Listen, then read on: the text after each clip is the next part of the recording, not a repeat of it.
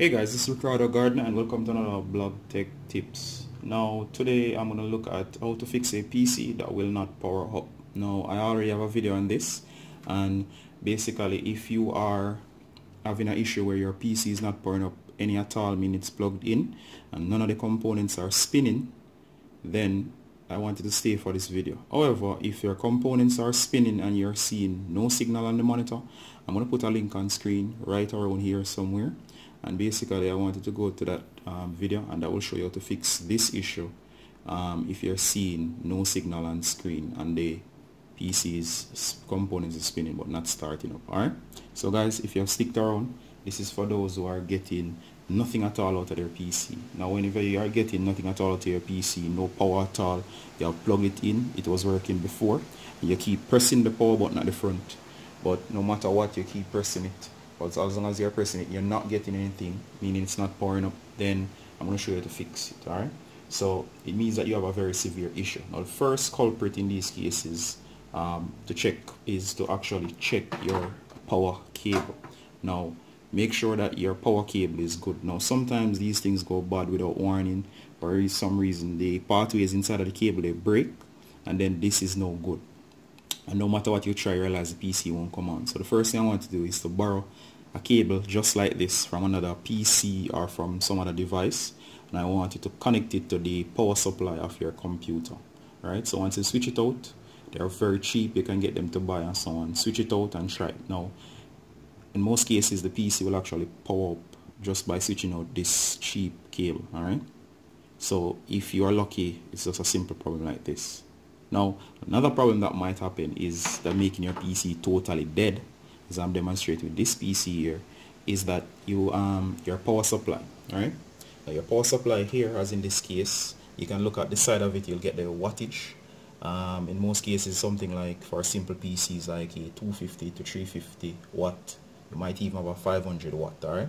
Now, normally, as I said, the PC won't power up. You look on screen and you see that the the monitor is on but it's um, dead you're not getting anything at all. The fans are not spinning any at all alright? So in that case and you want to know if the power supply is dead. What you need is a second power supply similar to the first one that's working. You can buy them very cheaply. What you're gonna actually do as you're seeing over here I have this old power supply alright? It's a high-end one but it works just the same.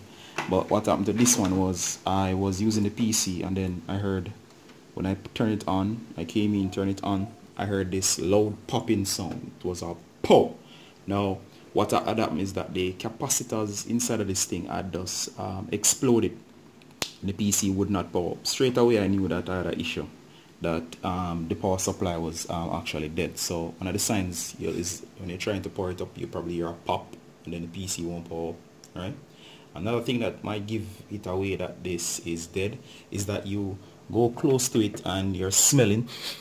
And once you're smelling you're getting this burnt smell like burnt rubber burnt. It won't be super um, smelly but you'll get this odor that you're getting something like something is burnt. Now that's a, usually a clear indicator that the power supply is dead. And in that case you'll have to buy back a new one right? What you could actually do um, if you're not competent enough to change out um, the power supply um, you could get somebody to do it for you or what you could do is take a video or a snapshot of all the internals what what is connected where and then you attempt to change it yourself all right? Another reason why your PC might not be powering up any at all is that you made some mistakes in the connection or you had transported your PC and something was pried loose. Now reason why something might be pried loose is because of vibrations. These things they're very important. For example you have the 24 pin connector over here. That's the main power to the motherboard. Sometimes this thing can get loose although it's very um, sturdy. You need to make sure it's set in place and it's not loose. Other connection points you might have like the controller for the front unit where the power switch alright? That power switch connector that connects to the motherboard like over here might be loose. So I wanted to check these connections to make sure they're right you might also want to read your uh, motherboard manual to make sure that nobody had switched around the um, the jumpers here for power switch and so on. Because the power switch could become the reset switch and the reset switch could become the power switch if these things are mixed up. So I wanted to watch out for those alright? Um, also make sure that your motherboard and so on is connected and all the cables are well um, plugged in. So just double check all of those. So as I said in recap reasons why your PC might be not powering on um, I mean not totally powering on in terms of saying you're not getting anything spinning. None of the components are moving. Is your power cable? So check that first. Next check your power supply. It might be dead. If you're getting smells or you heard a loud pop all right? Um, next it might be a case where um, the connections or the connector points like um, you remove the PC and then these are loose. You need to double check those to make sure they're well plugged in.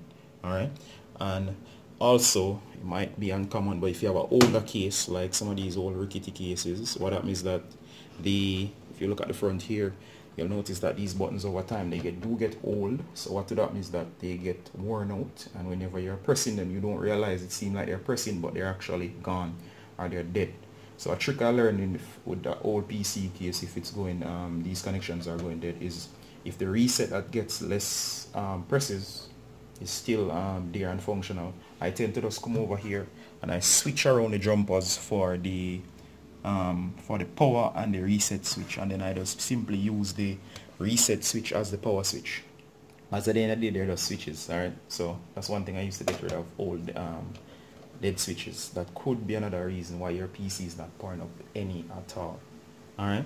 So guys if this did not work for this particular problem please check out the other one for no signal where the components are spinning. And it seemed like everything is working but you're seeing no signal on screen. I'll put it on screen. It will be in the description and so on. Alright guys? So if you're having such issues I hope this video was able to fix it for you or the um, other video was able to fix it for you.